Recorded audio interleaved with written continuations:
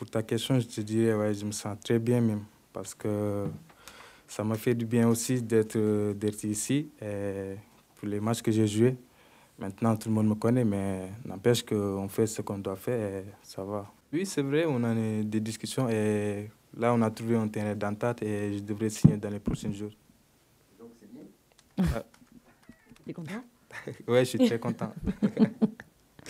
bah, c'est une folie pour moi parce que de jouer devant 100 000 personnes, bah, surtout un jeune joueur comme moi, surtout quand j'ai marqué mon, premier but au Vélodrome, bah, j'étais très content et je vois qu'aussi les supporters sont, sont bien et ils m'aiment bien aussi, donc euh, ça va.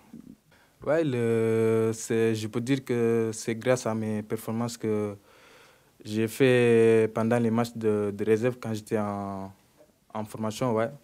Là-bas, le coach me regardait beaucoup et il savait que je suis capable de, je suis capable d'intégrer le, le, groupe pro et il m'a donné ma chance, je l'ai saisi.